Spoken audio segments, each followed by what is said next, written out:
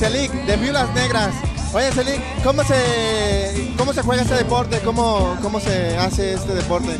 Hola, buenas tardes. Bueno, eh, el roller derby se basa en un equipo eh, variable de integrantes. Se enfrentan dos equipos, son cuatro blockers y una jammer, que es la corredora, eh, que es precisamente la que se encarga de hacer los puntos. El chiste de este juego es que la corredora tiene que rebasar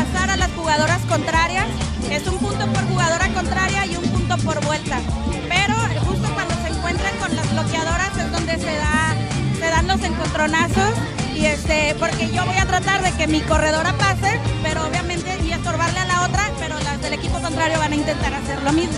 Ok, está, está muy divertido.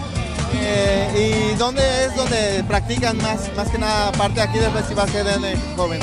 Bueno, cualquier superficie plana puede servir para, del tamaño aproximado de una cancha de básquetbol, puede servir para practicar el deporte. Nosotras en especial eh, tenemos una pista que nos patrocina en Frozen Adventure, se llama, en Plaza Centro Sur.